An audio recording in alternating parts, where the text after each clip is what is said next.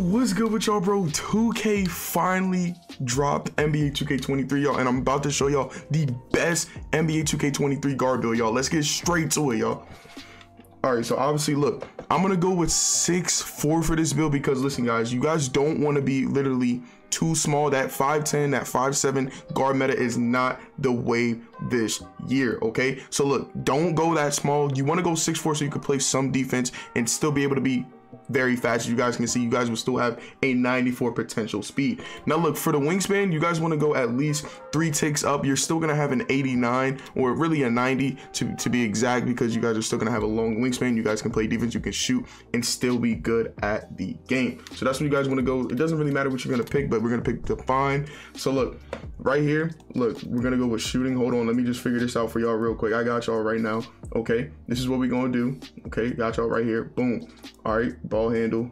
Uh, we don't really need a 95 this year. Just go with a 90 at least. You know what I'm saying? You don't need to max that out for no reason.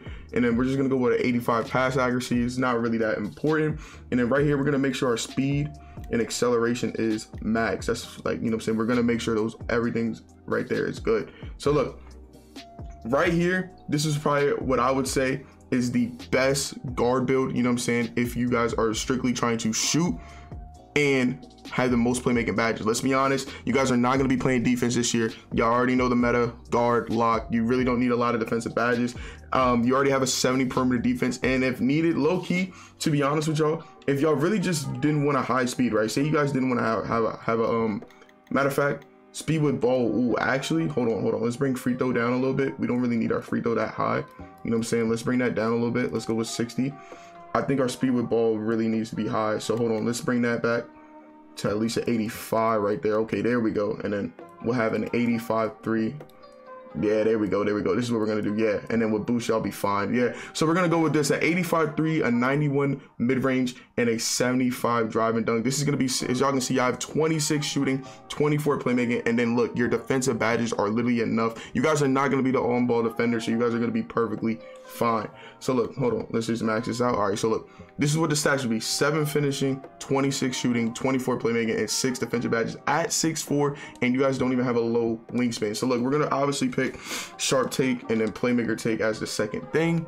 And then look, as y'all can see, this is to see what build we make. You guys have created the shot creator at 6'4. You guys have three ticks above max wingspan. And honestly, you guys can lower the wingspan if you guys wanted a higher three, but I'm prioritizing defense so you're not a liability. So this is why I think this is the best guard build in NBA 2K23, y'all. I'm out there, y'all. Hopefully y'all enjoyed this banger, y'all. Let's go.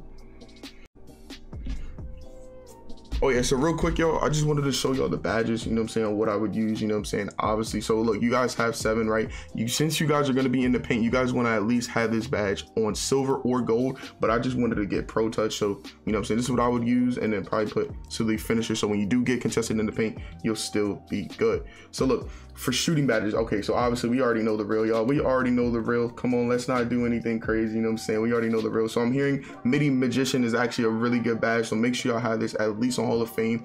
Obviously you guys want to have amped if you guys do not know amped when you guys do are you know running out of stamina running out of adrenaline boost amped literally gives you a boost to making those shots. So make sure you guys have this on hall of fame. And then look deadeye you obviously want deadeye on silver limitless range on silver. Even if it's on silver you're still being to be perfectly fine on still making those shots. And then you obviously want blinders on gold.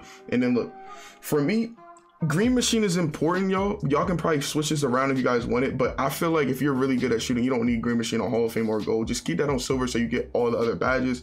And then for this one, uh, depending on what y'all do, you probably want to put this on, hold on, Guard Up. Guard Up's a good badge as well. So look, for playmaking, you know what I'm saying? We already know the real. We already know the real, y'all. Come on. Ankle breaker. And then when people use this clamps, you guys want to have this badge on so you guys can still break people. Handles for days is on silver, which is fine though, because you'll still be, you know, you still have a good enough speed. You guys want quick first step on Hall of Fame. And then after that, you guys, you know what I'm saying, y'all can really do what y'all want. But if you guys know the takeover, how to get takeover fast, you guys want to have special delivery on Hall of Fame if you can, but we're going to have it on gold for this video.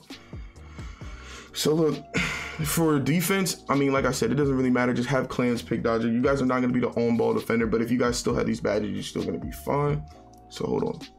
All right, so look, these are the badges that I would go with for this build. Yo, listen, y'all, this is the end of the video. Hopefully y'all enjoyed this one, and I'm finna drop a center one in a second, y'all. So I'm out, though. Let's go.